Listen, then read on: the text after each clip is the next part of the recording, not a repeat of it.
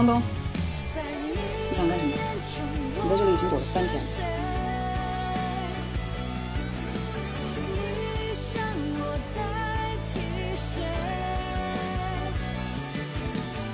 为什么不让他们跟我说话？姐姐劝劝哥哥呗。在干嘛？为什么呀？我得等他饿到没有力气，打得他乖乖的、老老实实的出来给我吃饭、睡觉、洗脸。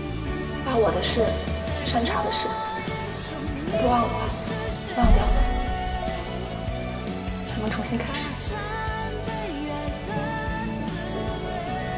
你就是想让我静一静，等我想明白了，你再来看看，看我值不值得被人爱吧。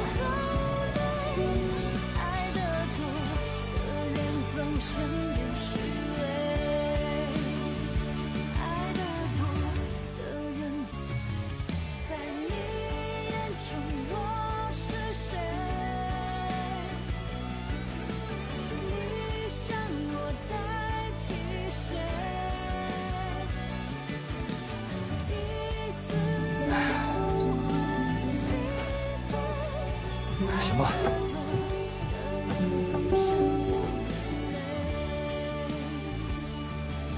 在我眼中你是谁